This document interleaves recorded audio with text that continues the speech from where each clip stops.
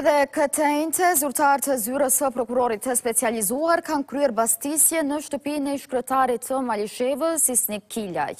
Specialja ka bastisur shtëpinë e tij në Lubizhdë të Malishevës dhe banesën në Prishtinë. Në anën tjetër, në Hagë ka vazhduar procesi gjyqësor në rastin ndaj katër ish-pjesëtarëve të UÇK-së, Thaçi dhe të tjerët. Zhvillimet në Hagë po i përcjell gazetarja Nora Luta. Nora, përshëndetje. Cilat janë detajet e seancës së sotme?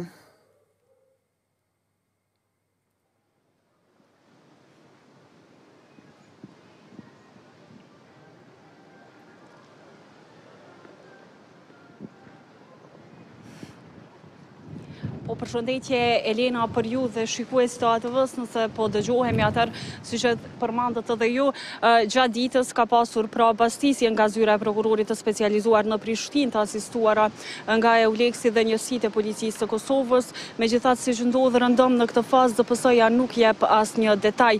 Por në rastet kur kemi të bëjmë me konfiskim të telefonave, ekziston dyshimi se mund të bëjë me pengim në administrimin e drejtësisë. Por në Hagë këtu është mbajtur një tjetër seancë në procesin gjyqësor Për krime lufte që po zhvillohet ndaj ish-krerëve të UÇK-së, Hashim Thaçit, Jakup Krasniqit, Kadri Veselit e Rexhep Selimit. Ndryshe nga shumë seanca të tjera gjatë këtij gjykimi, kjo e së enjtes është mbajtur kryesisht publike dhe dëshminë e tij e ka dhënë Predrag Dediq, që i cili nga paslufta nuk jeton më në Kosovë. Dëshmia e tij është dhënë përmes video-linkut.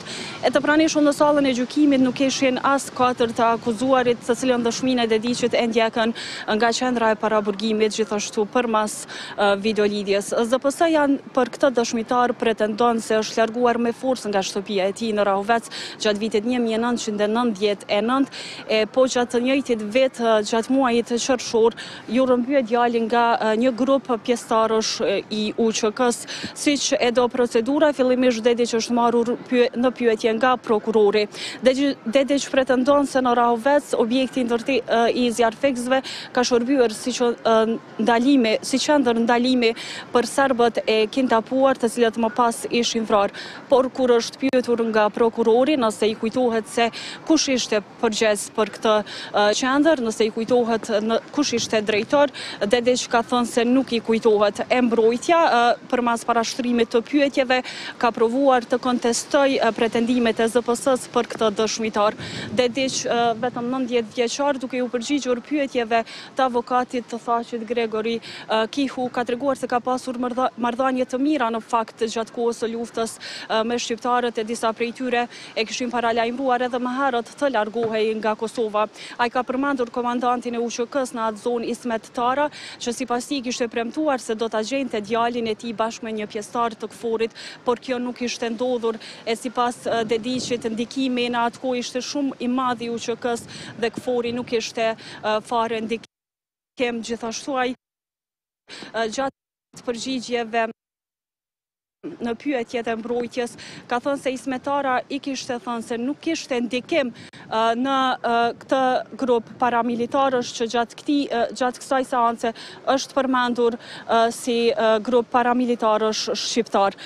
Gjithsej edhe 8 seanca të tjera do të mbahen gjatë këtij muaji në kuadër të këtij procesi gjyqësor për krime lufte ndaj Hashim Thaçit, Kadri Veselit, Rexhep Selimit e Jakup Krasniqit, gjykimi ndaj të cilëve nisi në prill të këtij vit, në prill të këtij viti e më 5 nëntor të 2023-s do të bëhen 3 vjet prej kur ata u sollën në pranga këtu në Hagë.